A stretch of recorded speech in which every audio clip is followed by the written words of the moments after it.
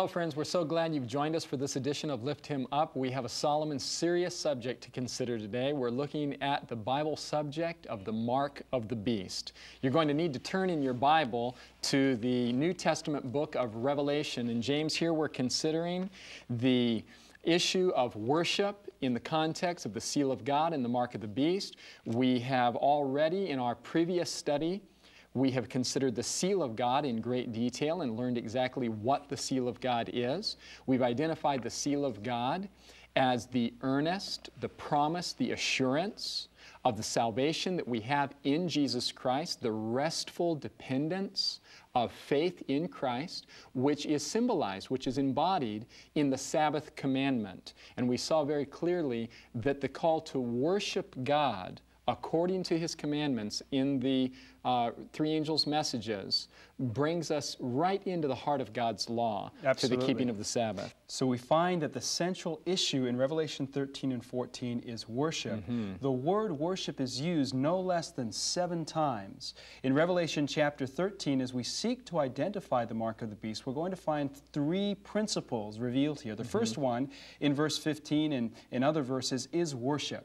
Are we going to worship God or are we going to worship the beast? The second one is receiving the mark of the beast, verse 16 of Revelation 13, in the forehead or in the hand. We need to understand why it is that we can only receive the seal of God in the forehead, but we can receive the mark of the beast in the forehead or in the hand. What does that mean? And the third one is found in verse 18. This is a a clue, this is a hint to understand this whole issue. It says here, here is wisdom. Let him that hath understanding count the number of the beast, for it is the number of a man, and his number is six hundred threescore and six. Six, six, six. What does six, six, six mean, Ty? Many people think that the mark of the beast is the number six, six, six. There's a mm-hmm. little bit of confusion concerning this. What is six, six, six all about? Obviously, it takes wisdom to understand it. There's a popular opinion, of course, that it's going to be some kind of a literal mark like a tattoo or the barcode on food products or something like that, or even a microchip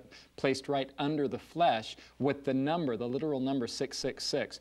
But it's interesting to note that the literal Greek here is better translated in the New International Version of the Bible and other versions, wherein it says, For it is man's number, his number is 666 six. So 666 is man's number. It's the number of man. This is clear in the Bible. Numbers have symbolic meaning.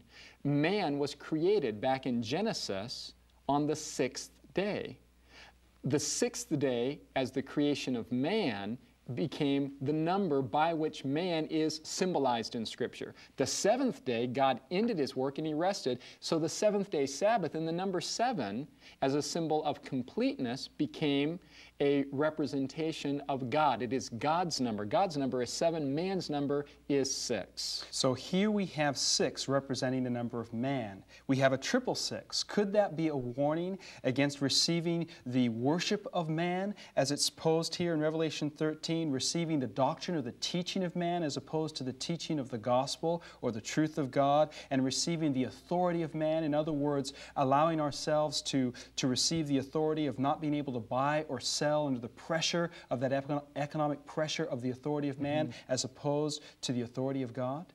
It's very clear, James, that this is indeed the issue. In the book of Revelation, we have two opposing forces. We have the commandments of God and the commandments of men, the worship of God, the worship of man, a human institution and system.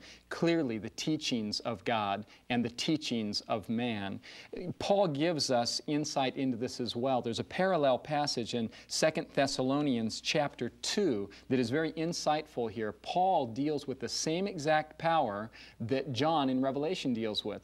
In Revelation, Paul or John calls it the beast power, referring to the papacy. Here, the apostle Paul identifies this power as the man of sin and the mystery of iniquity. Verses 3 and 4 of 2 Thessalonians chapter 2 reads as follows Let no man deceive you by any means, for that day, that is the coming of the Lord, shall not come except there come a falling away first, and that man of sin be revealed, the son of perdition, who opposeth and exalteth himself above all that is called God, so that or that is worshipped, so that he as God sitteth in the temple of God, showing himself that he is God. Here's the same power brought to view, dear friends. Here we have a power that falls away. In order to fall away, you have to first be connected.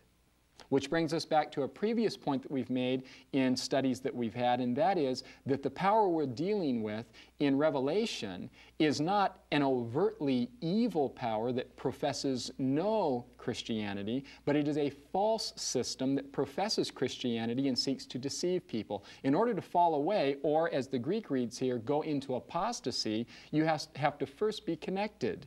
And so we have an apostasy taking place here. And the apostasy revolves around sin and iniquity.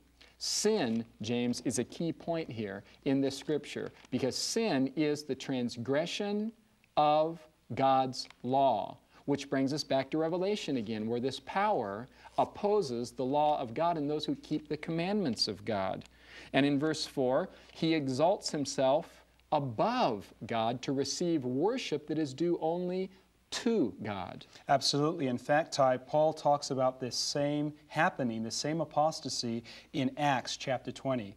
In Acts chapter 20, in mm -hmm. verse 29, he says, For I know this, that after my departing shall grievous wolves enter in among you, not sparing the flock. Verse 30, also of your own selves shall men arise, speaking perverse things to draw away disciples after them. So here Paul is speaking about the same truths that he revealed in 2 Thessalonians chapter 2. He's talking about men arising among the Christian church, inside the Christian church, to draw men after themselves. Mm -hmm. And this is what we see taking place in 2 Thessalonians chapter 2. In fact, it's interesting, Ty, Paul talks about this happening just after his departure in the early history history of the Christian church, which we can see now applies to the apostasy and the rise of the medieval church and then he goes on to say in 2 Thessalonians chapter 2 that this wicked that is revealed, the Lord will consume, verse 8, with the spirit of his mouth and destroy with the brightness of his coming. So here we have a clear revelation mm -hmm. of the Antichrist, of the man of sin, the man who opposes God's law,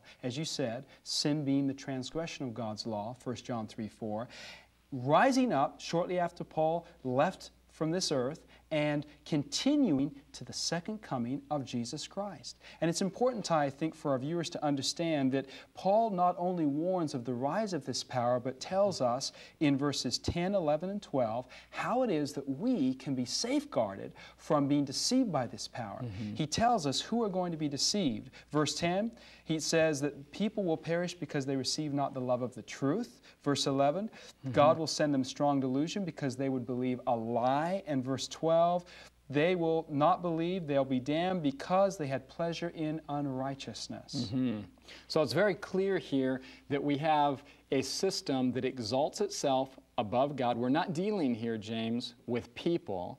We're dealing here with a system, not individuals, but a system. It's a false system that is deceiving people in the world. And this system exalts itself, exalts man above God, and receives the worship that is due only to God. And right in the heart of this worship issue is the law of God versus iniquity or lawlessness or sin, which is transgression of the law of God. Now we need to remember, Ty, that Jesus Christ is the inspirer of the book of Revelation. It's mm -hmm. the mm-hmm. revelation of Jesus that God gave to him and that he gave to John through the angel